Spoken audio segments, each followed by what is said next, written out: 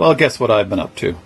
After spending a couple of hours installing this Sikaflex seam filler, um, I slowly came to the conclusion that it's not the best stuff for the job.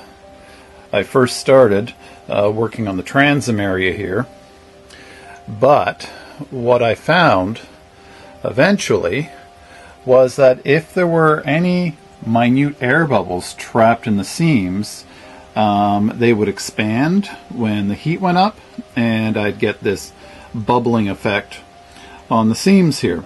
So, what I've decided to do is go with the old school um, linseed oil based putty, and I have had to rake out all of this part of the boat that I had done previously here. And believe me, raking out this Sikaflex uh, seam filler is no easy task. Perhaps the toughest thing that I was dealing with was these uh, very thin points of wood here, and I was afraid that as I was ripping it out, I would uh, damage these points. But uh, so far, so good.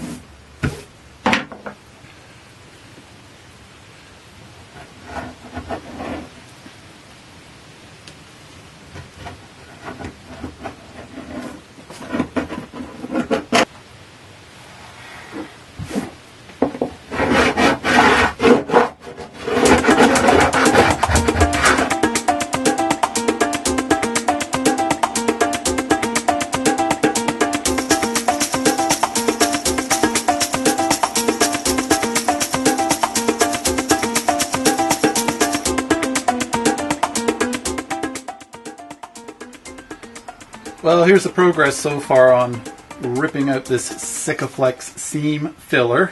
Uh, this was all filled in, and I have hopefully successfully uh, ripped it all out back to the clean wood. It was all the way up past the um, main frame where the steering wheel is, and I've ripped it out here on the transom area, and I'm almost finished because if I just move over here, I've got this done and I just have uh, one, two, three, four, five, six, seven more seams to do, and then I'll be finished. What I have found eventually uh, is a, a, a, fairly good technique of taking this out. Um, and it involves my uh, grout knife here. Um, what I found is that if I put two blades, I don't know if you can see that, two blades together side by side, it thickens up um, the actual uh, grout blade itself, and uh, it seems to create a very clean uh, removal system as opposed to just one blade here uh, that is normally on the knife. So what I've done is I've taken two blades and attached them here. So I'm going to show so you how that works. The first thing I do is um, take my knife here and I just uh, cut two seams um, right through this, bring it down.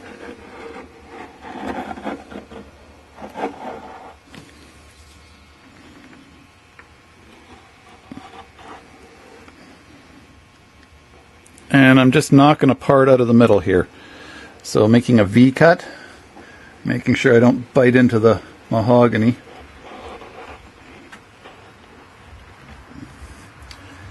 And then with any luck, that should remove.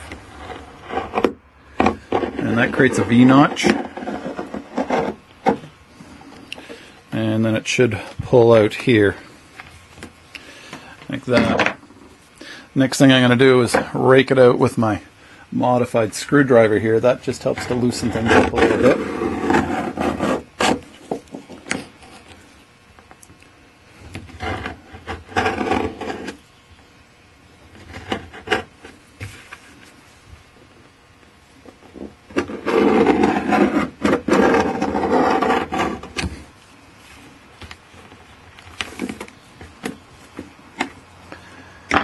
And now I'm going to take my double bladed grout uh, tool here and start to heave it out this way.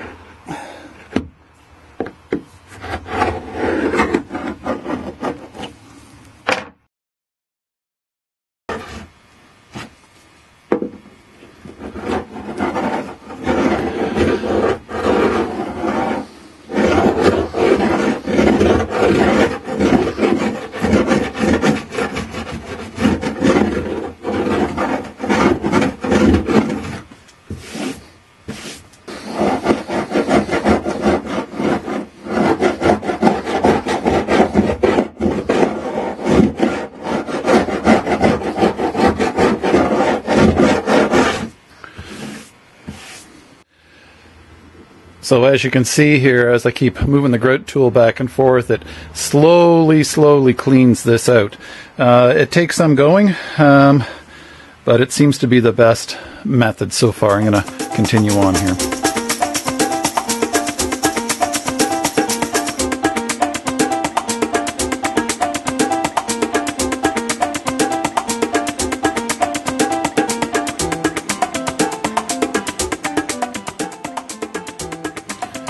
Slowly cleaning up, and then uh, once I get it down to the bare wood and get the edges uh, cleaned up, then I'll just take some 80 grit paper here and finish it off.